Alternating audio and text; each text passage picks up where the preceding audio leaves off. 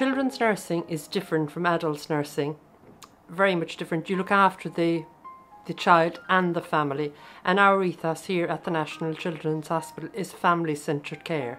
We ask the parents to be partners in the care of the sick child. In Ireland, we have a high prevalence of uh, cystic fibrosis in the community.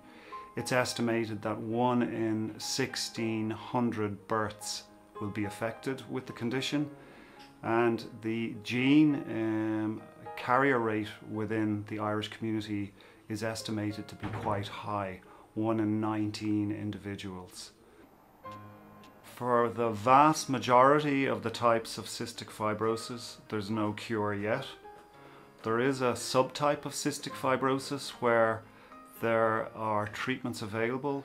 If this sort of treatment can be reproduced for the other types of cystic fibrosis, the horizon is optimistic indeed. In the morning, I wake my son at seven and we uh, give him a a spray to open his airways. And that must take 20 minutes. And the 20 minutes then allows them open. And then I, I then set up a neb- saline into a nebulizer. And then he, he takes that for another 15, 20 minutes. Um, and this, the saline is very important because the saline solution is going into his lungs to help break up the mucus in his lungs. Um, and then after that, then I allow another 20 minutes uh, he has his breakfast, but th- then he comes back in again, and then we start his acapellas, which are as physiotherapy treatment, where he blows into a little um, machine and uh, a device. And what that does is it actually sends vibrations into his lungs, which knocks that mucus off the walls of the, his lungs, um, loosening it. And then he will do that for 40 or 60 of those. He'll do 40 or 60 of those puffs. Um, and following that, then he'll do another, another uh, finishing um, anti-inflammatory uh, he'll take as well. Um, and, and, then bearing in mind at breakfast time, he needs a lot of additional uh, supplements because he has an absorption problem. So it means he has to have enzymes uh, because his pancreatic duct is blocked and he needs the enzymes to break down the food. Um, he also has to take additional supplements uh, for, for vitamins and so on, and uh, iron and calcium, because his body again finds it hard to absorb.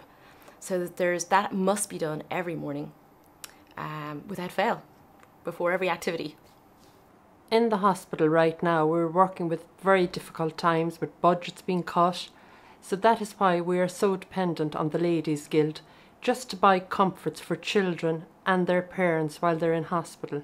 The Ladies Guild has always been very supportive to the National Children's Hospital, and I would like to say, on behalf of myself and the staff of the National Children's Hospital, we really do appreciate them and the work they do. Um, I think the key message is that we ourselves are on a journey with our son.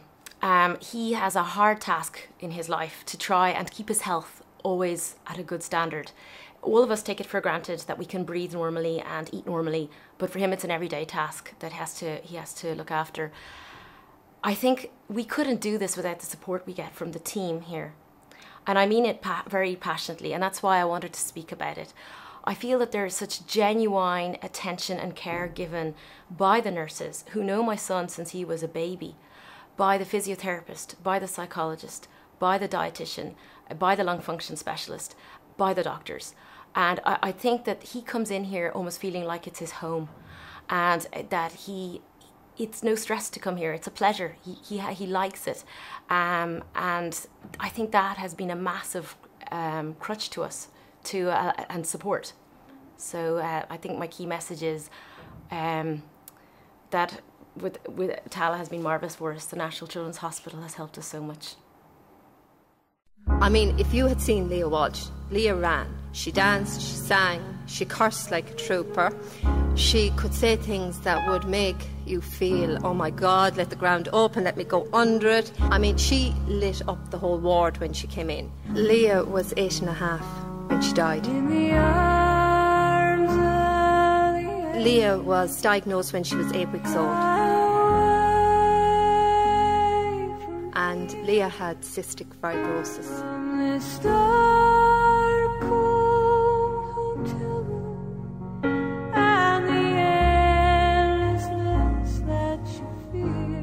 And uh, we put her into the car, and we were going past Brown's Barn, and she just said, Green fields, children. And I thought she was beginning to go asleep, you know. And she just put her head against the window. And then I looked over and I said, Leah, your feet are getting cold. And I lifted her onto my knee, and her eyes were still closed. I said, Oh, Jesus, Louis, I think she's dying. And um, he started to tell her that he loved her and that we really loved her so much and we let her go that was the end of it